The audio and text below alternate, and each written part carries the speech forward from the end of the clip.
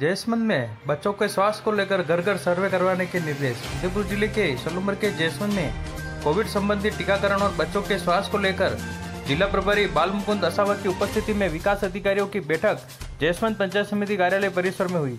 बैठक में उच्च अधिकारियों ने 45 वर्ष से अधिक आयु के लोगों का अधिकतम टीकाकरण कराने, बच्चों के स्वास्थ्य को लेकर घर घर सर्वे करवाने को लेकर दिशा निर्देश दिए।